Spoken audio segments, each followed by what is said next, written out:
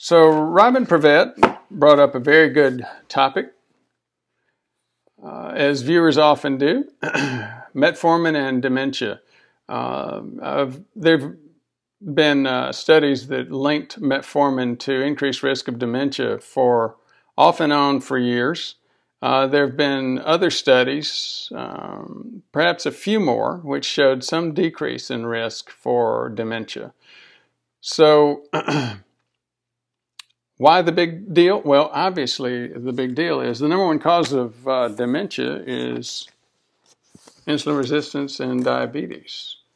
Uh, if the medicine, the most common frontline medicine that you give for diabetes is uh, impacts your risk for dementia, we need to know that. So, again, thank you, Robin, for bringing the issue up, and thank you, John, for quoting the uh, article on the other side of this debate, one of many. so let's go back to uh, the more the most recent article showing increased risk.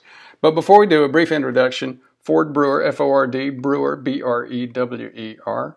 Um, and this is the Prevention Channel. Uh, we help you understand the literature, the science behind how to prevent disease. The major killers and disablers like dementia, heart attack, stroke, um, even cancers.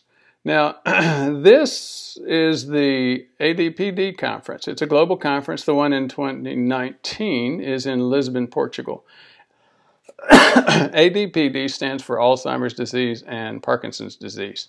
The one in, I think it was 2016, maybe 2017, um, had a study in it where a doc looked at um, metformin use and said, We think metformin use increases risk of dementia.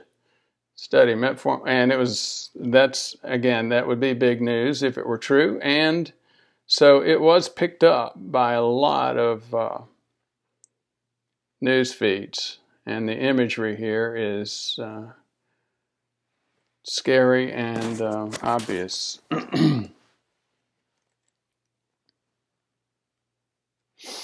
so let's look at the study itself, or first look at the doc that did it. It's Dr. Uh, Yi-Chun Wan, Kuan, K-U-A-N. And what did she do? Well, she looked at the um, at information from Taiwan in New Taipei City. Um, some summaries of information that showed uh, whether or not people were on metformin. It was a, again a large public health database, and she saw an increase in uh, in risk. Now, is isn't that scary? Well, let's slow down and look at this first. Um, if, if you look at uh, Medscape, first of all, I had the dickens of the time finding this article. There's some challenges with it, and I think we'll and I'll cover some of that uh, next. Uh, if you looked in Medscape, it did uh, cover some of this information, and they only covered um, the reaction from one observer. His name is Larry Ereshefsky. Um, he's a PharmD, used to be a neuroscientist at University of Texas. Dr. Ereshefsky's response was, I'm, quote, very surprised to see the increased risk finding and still skeptical about the, uh, the results. Well, why? Well, because they didn't explain uh, to the investigators how they controlled for confounders. And they didn't mention anything about uh, alternative treatments for type 2 hemoglobin or um, stage it using hemoglobin A1C. So we, he starts immediately into the question of confounding. What is confounding?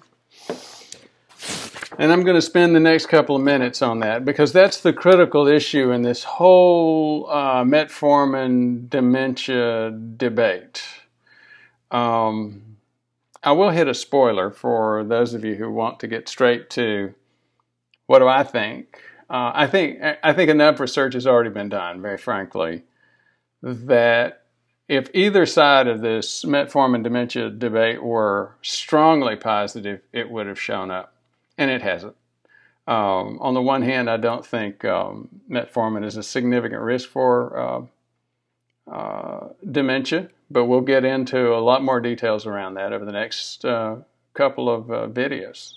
I'm going to do a, a, mini series on it. Um, on the other hand, if I think if just giving metformin we're going to totally uh, prevent or have a very significant prevention effect uh, for dementia, um, I think that would already be seen too. So again, we'll get into some more details around why there's so much debate about the science that we have seen on this issue.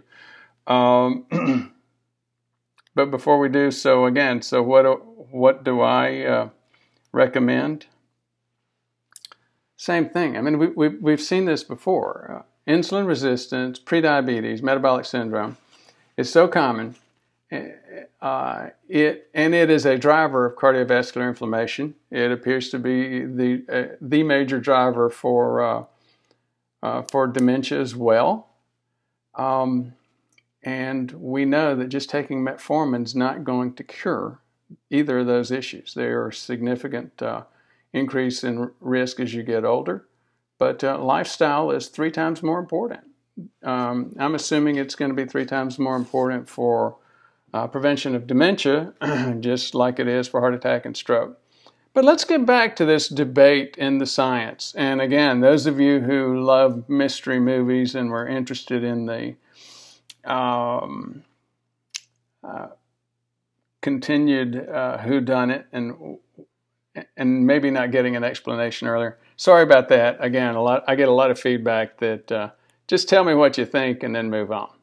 Now, so I told you what I think. Those of you who are who are uh, no longer interested at that point, you know, again, it may get a little bit technical here. Confounding. Let's start with that. What is confounding? It's an epidemiological term. Epidemiology, what is that? It's the study, it started out as the study of epidemic. It's the study of transmission of disease. And really, um, more than anything else, epidemiology is the study of studies, it's the study of medical science. Um, I spent a good bit of time doing that when I was uh, at Hopkins. It's a very interesting, maybe cerebral kind of thing and if you're not into uh, getting into some of these details, again, consider uh, this is where we're going next. Um, a confounder, very simply, is something that's related to both exposure and disease outcome. So let's say we came up with the theory that um, diuretics cause heart attack and stroke.